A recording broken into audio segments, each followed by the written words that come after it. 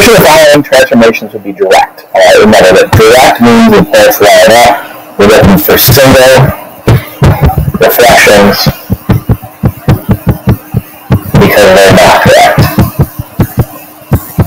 Alright, so there's a reflection, there's a reflection, both single reflections. And then I'm looking for single line reflections and then my reflection down there. So there's the answer to that. Anything else is direct except single line reflection.